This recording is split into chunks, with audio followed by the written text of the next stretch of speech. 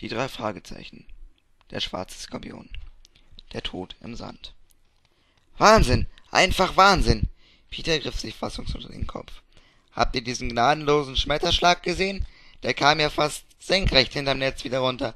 Wahnsinn! Der Typ kann einfach abartig hoch springen. Bob zeigte auf den braungebrannten Spieler, der sich eben mit seinem Partner abklatschte. Deswegen kommt er mit der Hand auch so gut mit den Ball. Ja, wie ein Flummi. Peter hatte sich noch immer nicht beruhigt. Der muss Sprungfedern in den Beinen haben. Jetzt wird's eng für die Brasilianer. Die sind fertig. Peter nickte zuversichtlich. Wirst schon sehen. Die kommen nicht mehr zurück. Justus folgte dem Treiben auf dem sandigen Spielfeld genauso wenig wie der Unterhaltung seiner beiden Freunde. Ihm war einfach nur heiß, unsäglich heiß. Die Bilder und Farben verschwammen allmählich vor seinen Augen, und er glaubte förmlich riechen zu können, wie die Sonne seine Haut verbrannte. Überall trat ihm der Schweiß aus den Poren, floss in die schmalen Rinnsalen den Rücken hinab und über die Speckröllchen an seinem Bauch und versickerte schließlich im Bund seiner Badehose. Und außerdem war es hier viel zu eng und zu laut. Hunderte halbnackter Körper saßen dicht gedrängt hinter der Absperrung im Sand und brüllten sich die Seele aus dem Leib, um ihre Favoriten anzufangen. Und weil alle den Stars dieser Beachvolleyball-Weltmeisterschaft möglichst nahe sein wollten, quetschten sie sich immer weiter nach vorne und schoben sich dabei mehr und mehr zusammen. Wie Ölsardinen, dachte der erste Detektiv.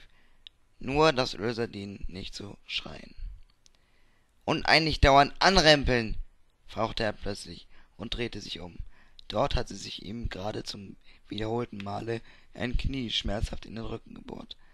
Neunzehn zu zwölf! Der Besitzer des aufdringlichen Knies strahlte Justus begeistert an. Noch zwei Punkte und wir sind eine Runde weiter. Das ist zwar sehr erfreulich, erwiderte Justus gereizt, aber noch lange kein Grund, mir jedes Mal ins Knie. Time out! rief Peter in diesem Moment und packte Justus an der Schulter. Die weisen Brasilianer nehmen ihr letztes Time out. Bitte? Justus drehte sich wieder herum.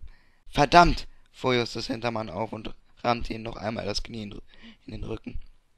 Die Kerle wollen uns aus dem Rhythmus bringen. Justus stöhnte entnervt und verdrehte die Augen. Es war sinnlos, einfach sinnlos. Diese Kniequäler hinter ihm werden es, würden es nie kapieren. Geht's dir gut? Peter sah Justus fragend an, weil er nicht wusste, wie er diese leidende Miene deuten sollte. Alles bestens. Justus lächelte dünn. Mordstimmung, schön warm, nette Leute, einfach fantastisch hier. Nicht wahr? Peter war in diesem Moment viel zu aufgeregt, um den ironischen Unterton in Justus Stimme deuten zu können. Hier geht die Post ab. Wer war wirklich eine prima Idee von euch, hierher zu kommen. Echt toll. Danke nochmal. Nicht zu danken, antwortete Bob. Gern geschehen. Noch einmal zwang sich der erste Detektiv zu einem Lächeln, aber das mit der prima Idee sah er inzwischen doch etwas anders.